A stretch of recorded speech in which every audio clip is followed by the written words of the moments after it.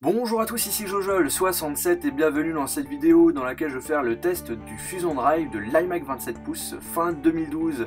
C'est quoi le Fusion Drive? C'est la fusion entre du SSD et un disque dur normal, ce qui vous permet d'avoir en gros un appareil deux fois plus rapide. Comment ça marche Tout ce qui est donné que vous utilisez souvent est répertorié directement dans la partie SSD, donc vous avez automatiquement un appareil bien plus rapide.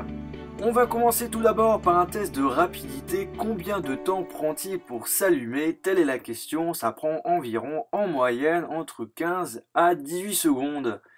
Alors bien sûr, mon disque dur n'est pas rempli entièrement, il est rempli entre 15 et 20%, c'est un disque dur de 1 Tera. Et on va remarquer que là, ça a pris 16 secondes.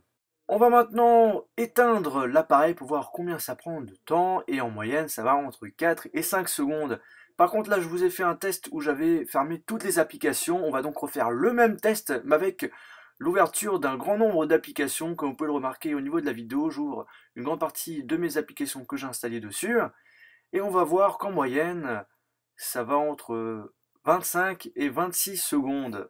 Mais qu'est-ce que nous avons pour le démarrage de l'iMac? Eh bien ça prend comme avant 16 secondes. Par contre quand on va aller sur notre compte pour avoir la réouverture de, toutes les applications, il faudra attendre bien 10 secondes. Mais ça reste plutôt correct, c'est assez rapide. On va maintenant utiliser le logiciel Disque Speed Test qui nous permet d'afficher le taux de lecture et d'écriture sur le disque dur. Et en moyenne pour l'écriture, on a plus de 300 mégabits par seconde et pour la lecture, on est en moyenne dans les 400 mégabits par seconde. Donc c'est un disque dur qui est plutôt rapide grâce au Fusion Drive.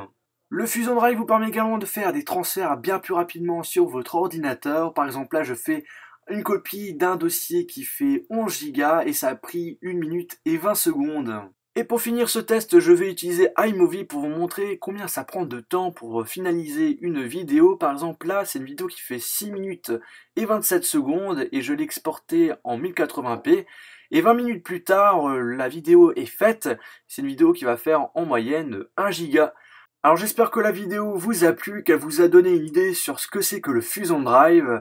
Moi je peux vous dire que c'est bien rapide par rapport à mon MacBook Pro.